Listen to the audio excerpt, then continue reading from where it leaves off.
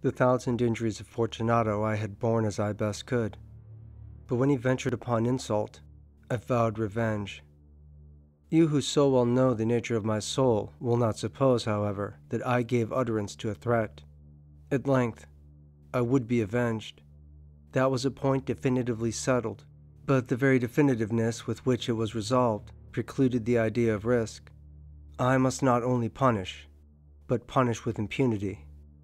A wrong is unredressed when retribution overtakes its redresser.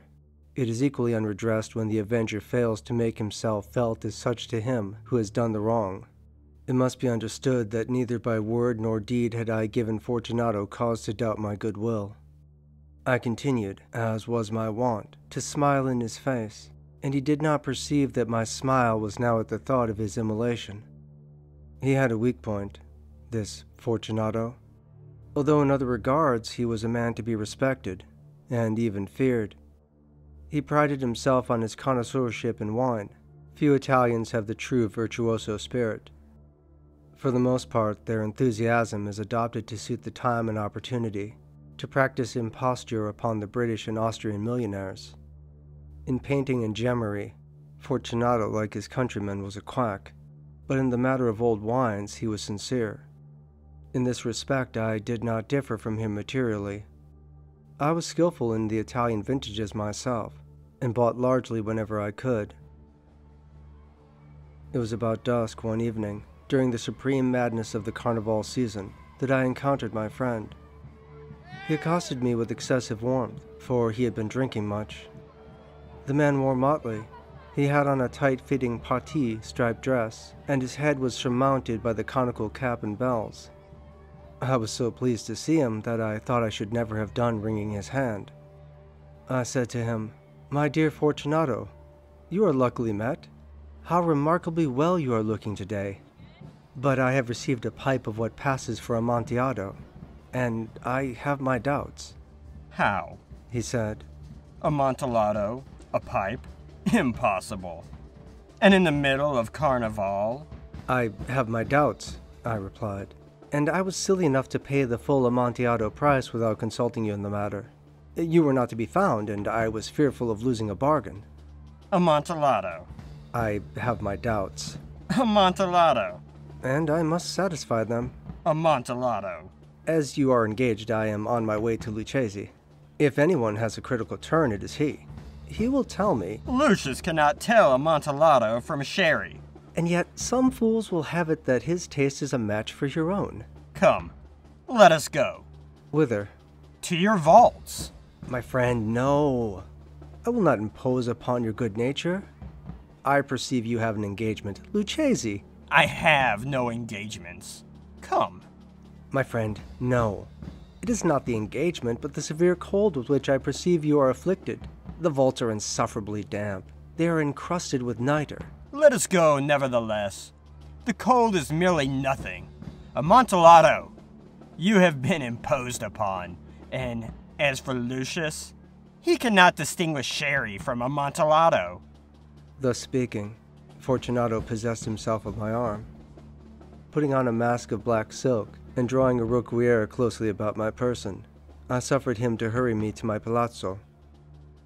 There were no attendants at home, they had absconded to make merry in honor of the time, and had given them explicit orders not to stir from the house. These orders were sufficient, I well knew, to ensure their immediate disappearance, one and all, as soon as my back was turned. I took from their sconces two flambés, and giving one to Fortunato, bowed him through several suites of rooms to the archway that led into the vaults. I passed down a long and winding staircase, requesting him to be cautious as he followed, we came at length to the foot of the descent, and stood together on the damp ground of the catacombs of the Montresors. The gait of my friend was unsteady, and the bells upon his cap jingled as he strode. The pipe, said he. It is farther on, said I, but observe the white webwork which gleams from these cavern walls. He turned towards me and looked into my eyes with two filmy orbs that distilled the rheum of intoxication.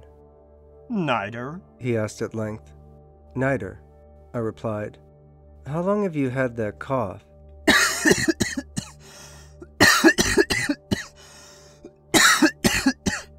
My poor friend found it impossible to reply for many minutes. It is nothing, he said at last. Come, I said with decision. We will go back. Your health is precious. You are rich, respected, admired, beloved. You are happy, as once I was. You are a man to be missed.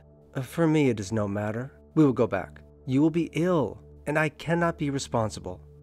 Besides, there is Lucchesi. Enough, he said. The cough is merely nothing. It will not kill me. I shall not die of a cough. True. True, I replied. And indeed, I have no intention of alarming you unnecessarily, but you should use all proper caution. A draught of this Medoc will defend us from the damps. Here I knocked off the neck of a bottle which I drew from the long row of its fellows that lay upon the mold. Drink, I said, presenting him the wine. He raised it to his lips with a leer. He paused and nodded to me familiarly while his bells jingled. I drink, he said, to the buried that repose around us. And I, to your long life. He again took my arm and we proceeded. These vaults, he said, are extensive. The Montresors, I replied, were a great and numerous family. I forget your arms. A huge human foot, d'or, in a field azure that crushes a serpent rampant whose fangs are embedded in the heel. And the motto? Nemo me impune lacessit. Good, he said. The wine sparkled in his eyes and the bells jingled. My own fancy grew warm with the Medoc. We had passed through walls of piled bones, with casks and puncheons intermingling, into the inmost recesses of the catacombs. I paused again, and this time I made bold to seize Fortunato by the arm above the elbow. The niter, I said. See, it increases. It hangs like moss upon the vaults. We are below the river's bed. The drops of moisture trickle among the bones. Come, we will go back ere it is too late. Your cough. It is nothing, he said. Let us go on. But first, another draught of the Medoc. I broke and reached him a flagon of the Grave. He emptied it at a breath. His eyes flashed with a fierce light. He laughed and threw the bottle upward with a gesticulation I did not understand. I looked at him in surprise. He repeated the movement, a grotesque one. You do not comprehend? He said. Not I, I replied. Then you are not of the Brotherhood. How? You are not of the Masons. Yes, yes, I said. Yes, yes. You? Impossible. A Mason? A Mason, I replied. A sign, he said. It is this, I answered, producing a trowel from beneath the folds of my roquelaire. You jest, he exclaimed, recoiling a few paces. But let us proceed to the Amontillado. Be it so, I said, replacing the tool beneath my cloak and again offering him my arm. He leaned upon it heavily. We continued our route in search of the Amontillado. We passed through a range of low arches, descended, passed on, and descending again, arrived at a deep crypt in which the foulness of the air caused our flambe rather to glow than flame. At the remote end of the crypt there appeared another, less spacious. Its walls had been lined with human remains piled to the vault overhead, in the fashion of the great catacombs of Paris. Three sides of this interior crypt were still ornamented in this manner. From the fourth, the bones had been thrown down and lay promiscuously upon the earth, forming at one point a mound of some size. Within the wall thus exposed by the displacing of the bones, we perceived a still interior recess, in depth about four feet, in width three, in height six or seven.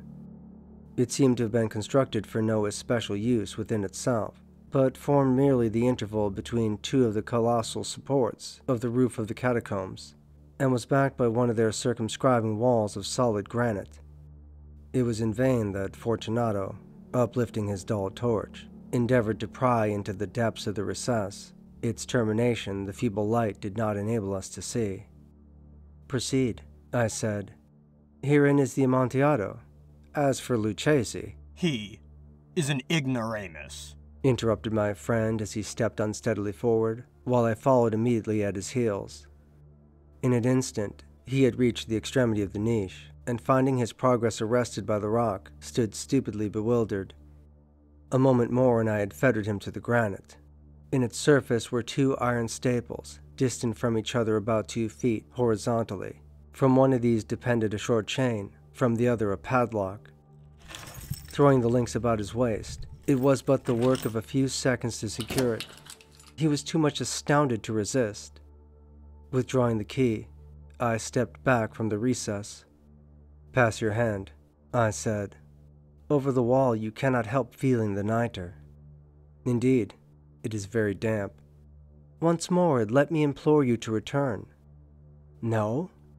Then I will positively leave you. But I must first render you all the little intentions in my power. The Amontillado, ejaculated my friend, not yet recovered from his astonishment. True, I replied. The Amontillado. As I said these words, I busied myself among the pile of bones which I had before spoken.